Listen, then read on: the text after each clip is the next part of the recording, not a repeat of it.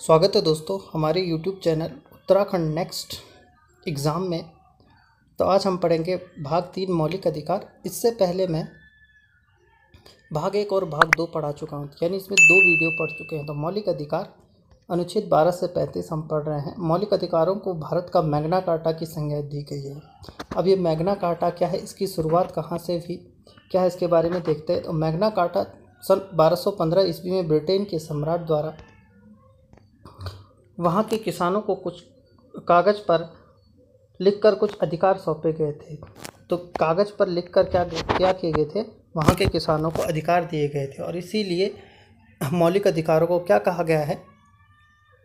Magna carta की संज्ञा भारत में दी गई है। ठीक, अब देखते हैं भारत में सर्वप्रथम मौलिक अधिकारों की मांग कब हुई? तो मौलिक अधिकारों की मांग बाल गंगाधर तिलक के स्वराज विधेयक में की गई थी सर्वप्रथम तो कब की गई थी? अट्ठारह में बाल गंगाधर तिलक द्वारा मौलिक अधिकारों की मांग की गई थी। ठीक, आगे चलते हैं। मोतीलाल नेहरू द्वारा नेहरू रिपोर्ट में भी मौलिक अधिकारों की मांग की गई थी और ये की गई थी आपके 1928 में।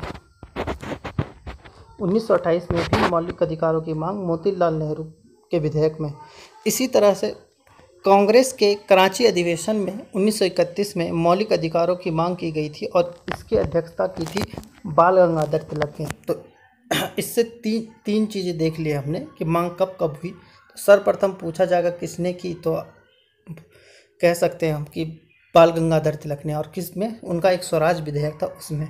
उसके बाद मोतीलाल नेहरू ने भी नेहरू रिपोर्ट में मौलिक अधिकार रखे थे। और उसके बाद कराची अधिवेशन में भी मौलिक अधिकारों की मांग हुई थी। तो आगे चलते हैं। वर्तमान में छः मौलिक अधिकार हैं और प्रारंभ जब संविधान बना था, उस टाइम सात मौलिक अधिकार थे। कितने थे? उस टाइम सात थे। संपत्ति के अधिकार को अनुच्छेद 21 से हटाकर अनुच्छेद 300 कौ में रखा गया है।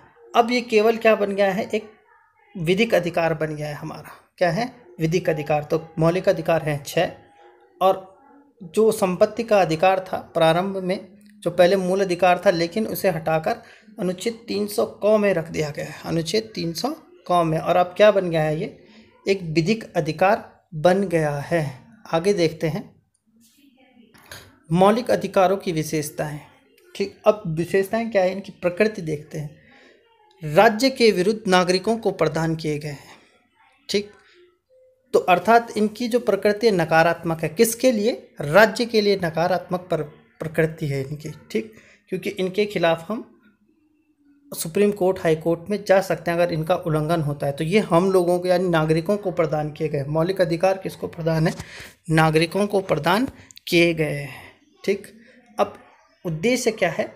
ताकि राजनीतिक लोग लोकतंत्र की स्थापना की जा सके, ताकि क्या की जा सके? राजनीतिक लोकतंत्र की स्थापना की जा सके।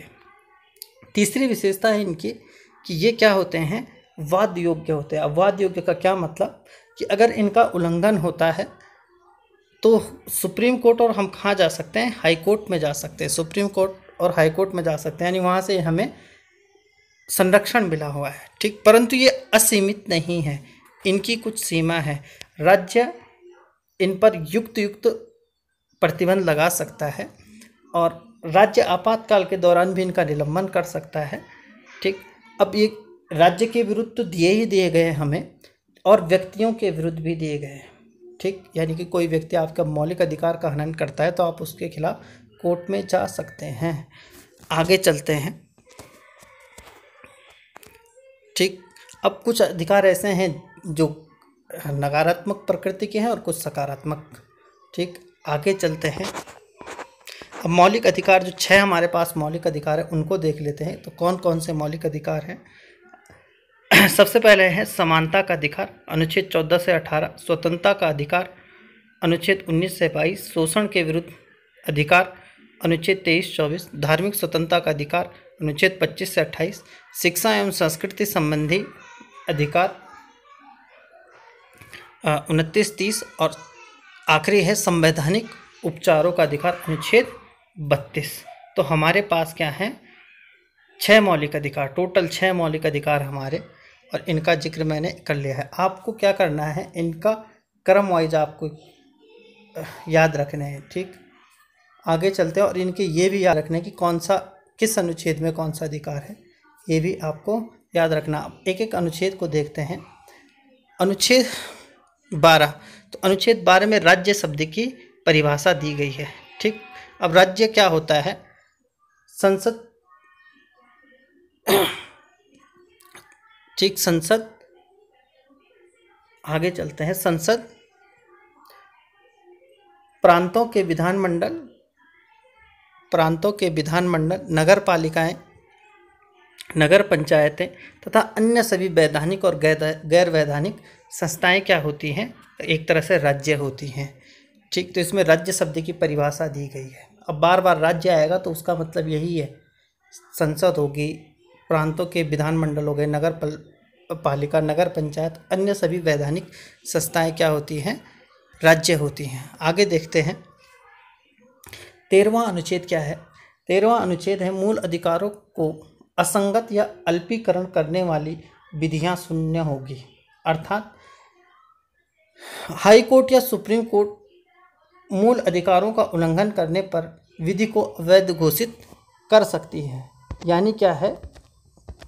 अगर क्या होता है, आपके मौलिक अधिकारों का उल्लंघन होता है, उल्लंघन या कोई ऐसी विधि बन गई है जो मौलिक अधिकार का क्या कर रही है, हनन कर रही है या उसको कम कर रही है तो हाई कोर्ट और सुप्रीम कोर्ट क्या करती, क्या कर सकती है?